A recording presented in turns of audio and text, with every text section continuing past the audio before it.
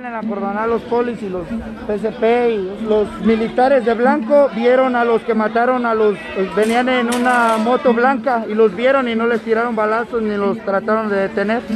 Nada más los vieron pero los dejaron ir. Tras un ataque armado en el mercado Tomás Esteves este jueves 3 de septiembre, en el que dos personas resultaron lesionadas y dos más perdieron la vida, decenas de negocios de diferentes giros bajaron sus cortinas, entre ellos carnicerías, pollerías, zapaterías y algunos dedicados a la venta de ropa.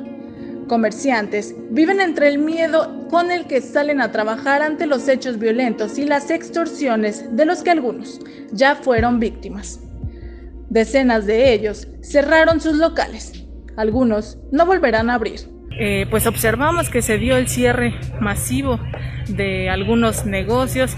Nos llamó la atención que está estacionada esta patrulla de la policía municipal. Algunos comerciantes nos comentaban que llegaron desde muy tempranas horas esta mañana y pues que es lamentable también que las autoridades municipales se hayan esperado hasta que pasó esta situación, este ataque armado aquí en el mercado Tomás Esteves, en donde dos personas perdieron la vida para que les mandaran esta unidad y algunos elementos para apoyarlos con el tema de seguridad.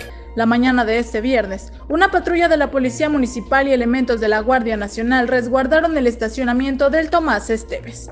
Esto desencadenó la molestia de los comerciantes, pues horas más tarde, el mercado municipal cerró sus puertas tras el asesinato de un comerciante de frutas y verduras.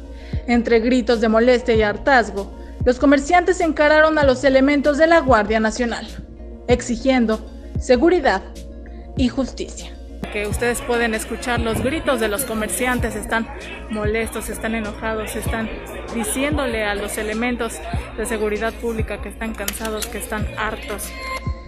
Mega Noticias